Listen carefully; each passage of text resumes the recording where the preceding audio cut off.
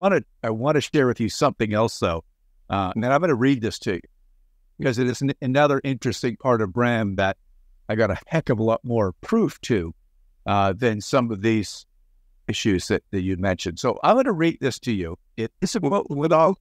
I'm going to read you a quote, and I want you to kind of think about it, Rick, and then we'll just we'll digest. I don't know how much longer you want to keep going here, but I do want to get this in because it's a part of Bram Stoker that not many people know about, and that uh, Jason and I and John wanted to, wanted to utilize this um, as, as a special thing to talk about in Bram's life. And I haven't talked about many podcasts either, but here we go. Do you not think that there are things which you cannot understand, and yet which are that some people can see that others cannot? Do you, can you not understand that there are some there are things that some people can see that others cannot? Any idea what that's referring to? It sounds a lot like he's talking about just faith and people's hope in their in their belief system. I think it goes deeper. Do you not think that there are things that some people can see and others cannot? I heard the term second sight, Rick. You know that term? Yeah. That's uh, yeah, I could see that being an interpretation of that as well. That somebody's just more sensitive to the things that are around them, be it yes, even sounds, being extra sensory. So that's one little piece of evidence. And here's an example for your listeners. Uh, there's something that I found in the story that didn't mean much until I started looking into some of his other. He wrote chapter while he was in Cruden Bay, Scotland. Now I've been to twice. Called The Mystery of the Sea is the book, but the early chapter that he released was The Seer.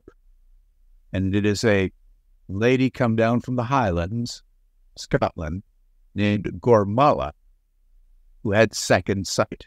Our second sight. She could see things that others could not. She could see the future.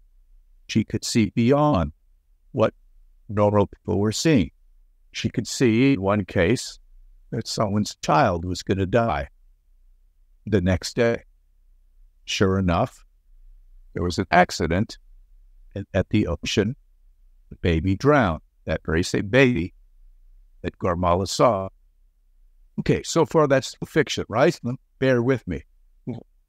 So I found an article in the Dundee, Scotland newspaper written by a guy. It says he went to Dundee to meet Henry Irving and his manager, Bram Stoker, after they were performing in the theater. There was a wonderful gathering in the nice big house, and he found Bram Stoker sitting by a fireplace with a small group around. Far more interesting than Henry Irving, who was talking about it, was most. There was Bram with a brandy in his hand and a cigar, and they were all engaged in a discussion about second sight. Because you see, people in Scotland, at least in the Highlands, had this sort of propensity to be interested in this and also to certain people to experience it.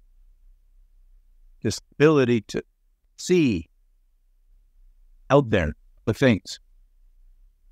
And Norval Scrimgeour, the writer, wrote this article in 1930 or 31, years after 1904, when this incident happened.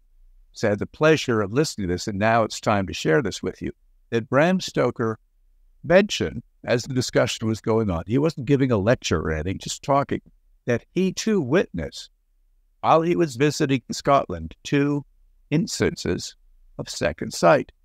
One was family he was visiting where the mother was holding their young child, two or three year old, and the five year old came in and was crying. The mother said, What's the matter? Oh, and I don't know the name, but the name of the baby in arms at the moment. Little, Mary won't play with me. Why not? She's dead. What a funny thing for a young girl to say. What do you mean? No, she's dead. She won't play. No, she's quite healthy. She's fine. And in fact, Bram said there was no sickness, there was nothing. And yet the next day, Bram found out that the child woke up dead. So this young girl either was really lucky in her prediction or she possessed some kind of second sight.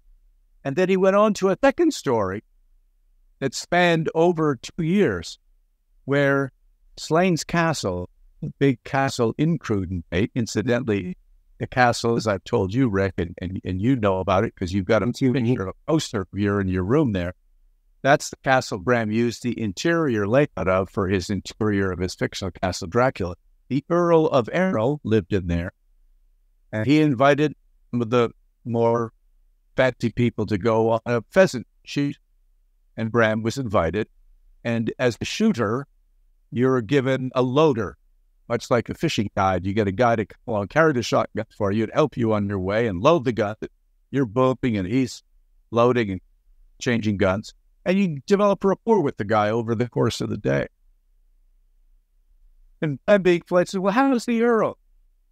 And this Highland guide says, Oh, the sheet is high. And Bram goes, What do you mean? The sheet, he's high, he's not well. But Rick, the sheet being high is, you know, the sheet that gets pulled over the head and the guy dies. Mm. It was being, you know, it was high somewhere.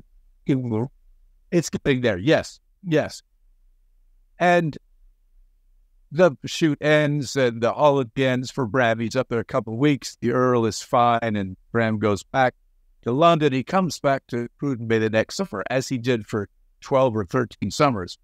And he's invited out again for another shoot, and he requests the same loader because he wants to question the guy. Well, how are you again? Nice to see you, sir. How is the Bureau? I see he's quite well. You you you made a mistake last year. He goes, Oh no. The sheet is higher still. Oh, it's too bad. See, but no, not at all.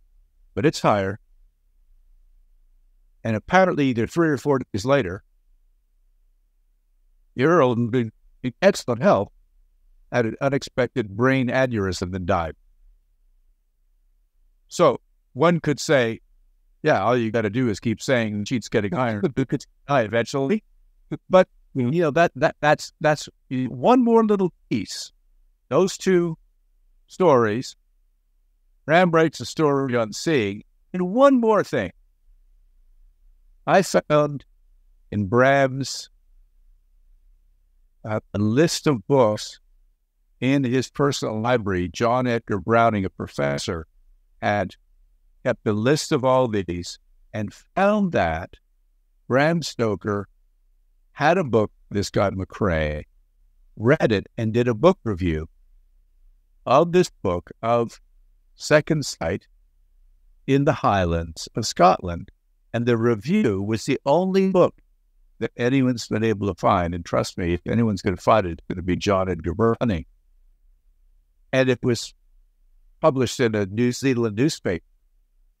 And it was published very favorably about this book about Second Sight in the Highlands of Scotland. It wasn't sort of making fun and poo pooing this kind of strange idea of second mm. sight. You saying, oh, that, you know, in some cases it can be true, some cases can be hoax. Very recently, as contacted by the Rosenbach Museum, who is trying to raise money because they have the opportunity to buy one sh- manuscript, uh, one one chapter of one of the last books Bram wrote called Famous Impostors.